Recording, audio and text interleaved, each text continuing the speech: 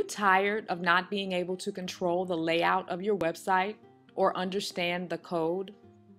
Ever wish you could position items like social networking icons and AdSense units inside your header?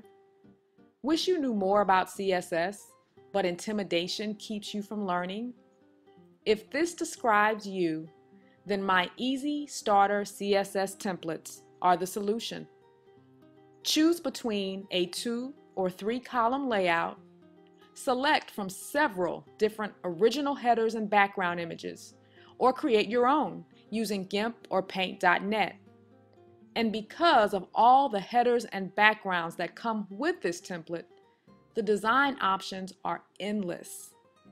And the best part, there are detailed instructions in the style sheet and index file to help you change the size, colors, and fonts of menus, navigations, and even reposition or add elements like social networking icons, banners, and more. I even show you how to add a shadow around various sections of your template like your header, left nav, or site container. I guarantee you've never seen a teaching template like this. And of course, in true to-create-a-website.com fashion, there's a walkthrough video with instructions for how to edit and upload the template to your website.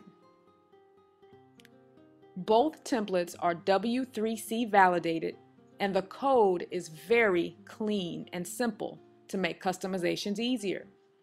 I purposely created very simple templates to give you the chance to jazz them up as much as you like. After all, there's nothing like trying to edit complex templates with nested divs and outdated table designs. Yes, you can use these templates with Site but you have to follow the SiteSell guidelines to prepare the templates for their servers. It is true that these templates were designed for static HTML website owners, not bloggers. So you may be wondering, Lisa, with so many people creating blogs these days, why not offer a teaching template for bloggers? Several reasons. Number one, static websites are better for learning HTML and CSS because the code is cleaner and simpler, and you can update and preview your changes right from your computer, either online or offline. Blog code is much more complex. And in order to preview and test your design fully on your computer, you'll need to set up a server-like environment, like XAMPP. But that's a whole nother video. Plus, bloggers have tons of wonderful themes they can download, many for free. Static website owners don't often get the same support when it comes to design.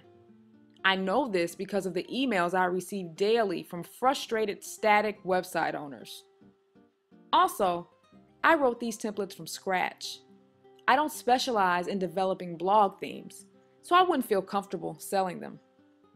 So, if you're a blogger, you may not be able to incorporate the templates directly into your blog, but they will help you understand how to position elements and change the layout of your existing blog. Blogs use CSS to govern the design, and so do my templates. So you'll be able to apply these lessons to your own blog fairly easily. I get numerous questions about my blog design every month. Even though I'm using the popular WordPress thesis theme that has a ton of design options and shortcuts for non-techies, my header design has nothing to do with the thesis theme. I designed my header and the area below it from scratch by writing my own CSS code. So you could use the same CSS code I provide in these templates for your blog.